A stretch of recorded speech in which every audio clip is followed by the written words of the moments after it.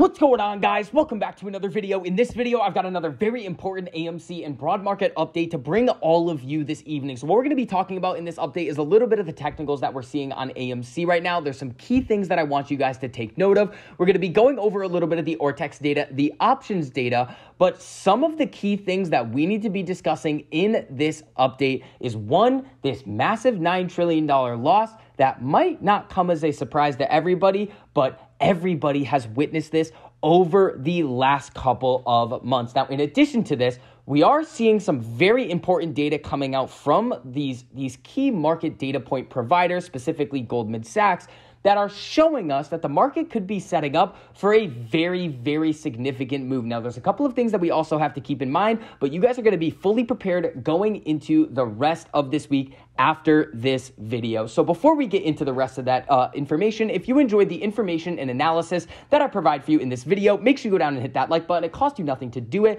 but it really helps us out a whole lot in getting this information out to as many people who want to learn. And if you guys want to see more videos like this, make sure you hit that subscribe button and turn on that notification bell so you're notified every time I post a new video. So again, guys, AMC very flat on the day, down 0.24%, 3 cents closed the day right at $12.50. When we pull this onto the four hour time frame here, a couple of things that we need to look at. One, We've been really trading in this range right here from 11 to about 13 over the last couple of weeks. Now, we are hunting this 1348 cross right here on the four hour, but until we end up seeing that momentum to the upside here, we're probably just going to mess around, trade up, down, sideways until the overall market gives us that confirmation that we are trending back to the upside and AMC can get some of its firepower back. And again, guys, if you do want to learn a little bit more about this 1348 strategy, make sure you check out that link down below. We have some awesome stuff coming for you you guys. We have that real time options data already. Over 55 private live streams every single month, making sure that you know exactly what you are doing going into the market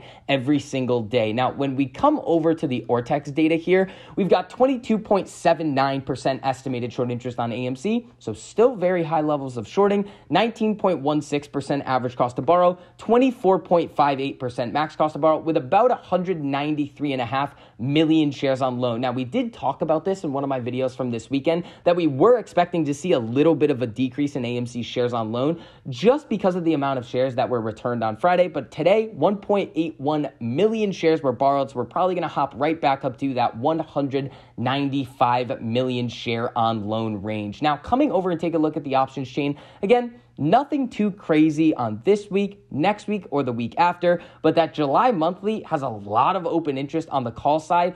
And when we come over and take a look at AMC's actual option chain for this July expiration date here, and we take a look at the call option chain, there's a crazy, crazy high amount of these $145 strikes being held. Are these stupid? Most likely. I probably wouldn't suggest anybody buying these $145 strikes right now. They really don't help anybody and they're kind of just giving liquidity to a lot of these market makers. But at the end of the day, you guys are going to do what you want to do with your own money. And again, guys, feel free to engage with the video. Drop a comment down below. We are going to get into some very important stuff going on with the overall market, starting off with this $9 trillion loss. Now, when we come over here, the shortest bull case for stocks you will ever read. The first thing here, pretty funny Goldman and Citi strategists say it's now time to buy stocks. This came out on January 26th of 2022. Uh, and recently on June 21st, Morgan Stanley Goldman strategists see more stock market losses because they got this move for this first half of the year completely wrong. Now, what we have to look at also is that stocks are facing a $9 trillion drawdown from their January all time highs. Hedge funds are reeling left and right, and most Americans are terrified to even open their 401l statements. Uh, and guess what? The banks are now telling clients to sell at the bottom. So, again, these financial institutions that are supposed to know what they're doing, that are managing a lot of money for very, very quote unquote important individuals, can't even get the direction of the market right. They are overcomplicating things and honestly are very out of touch with the overall economic climate that is going on in the world right now.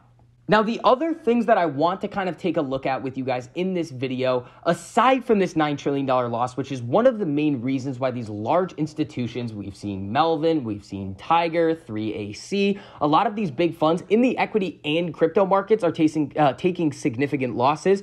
There's something that could be around the corner that I want you guys to be aware of. This article right here, we brought up this chart um, in one of the videos from this past weekend. Last week was the most amount of shorting that we saw in the overall market in the last 10 years, and the second most amount of shorting that we've seen since 2008. There are two outcomes of this that we were talking about. One, the shorts are going to be correct in shorting this overall market right now, chasing the market down after it has already fallen from that 416 level to a low of about 362.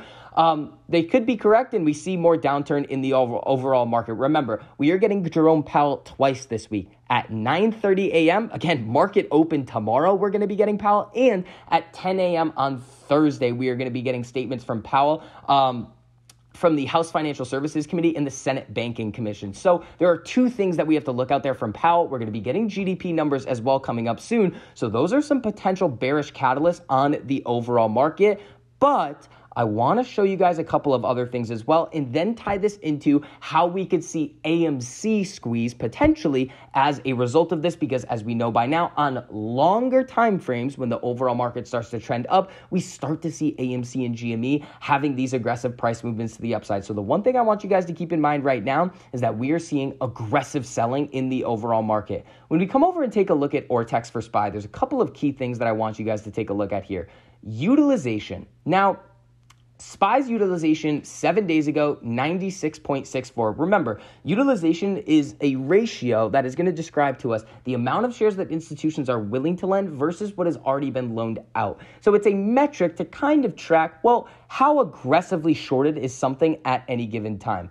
Now, we just saw it hit a peak back here. Well, the last time that we got up to a level like this, right around 100%, if you if you make this chart a little bit bigger on Ortex, it actually touches 100%. But right now, when it's condensed, we're seeing about 93, 94% utilization. This was right around February 21st when we come over and take a look at the actual SPY chart here, um, and again, you saw what happened with utilization after. It significantly started coming down all the way into April. What did we see with the overall market? When we take a look at the SPY right here and throw this on the daily time frame, remember, end of February going into March. What did we see? We saw a nasty move from these lows all the way down here, this 408 level, all the way up to 460.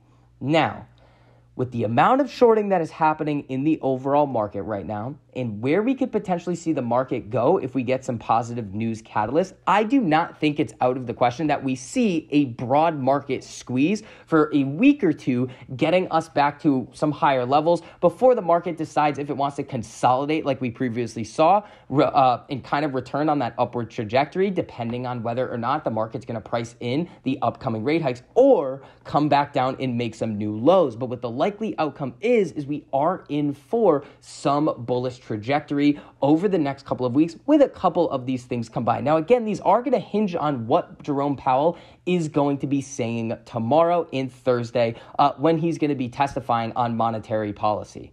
Now, since we've talked about this broad market squeeze, there's a couple of things that I want you guys to fully understand. When we talk about squeezes, the market is not going to double or triple in value if you see somewhat of a short squeeze or short covering, but you can see those pretty aggressive price movements to the upside. But what would this mean for potentially AMC? Well, at this time period, the last time when we saw this pretty aggressive run up, all the way on March 14th and the 15th, all the way up to uh, about March 29th, right here, what happened to AMC on this time period? Well, when we saw the market bounce significantly like this, well, March 15th right here, then the halt day back up here, the market coming up aggressively can be a pretty significant catalyst for us. But again, you need to see that buying pressure come back in. Remember, a lot of people are talking about volume, uh, but I think people really need to start focusing on buying pressure. That's really the correct terminology that I want everybody to be using. Buying pressure is, is what's going to drive price action.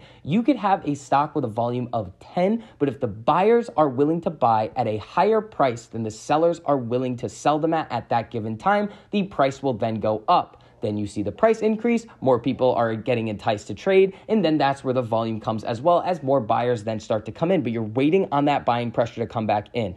Now, if this doesn't happen and we don't see this market squeeze happen, what are things looking like for AMC? I'll make another video on this, um, probably uh, at some point during this week on what the state of AMC is like right now.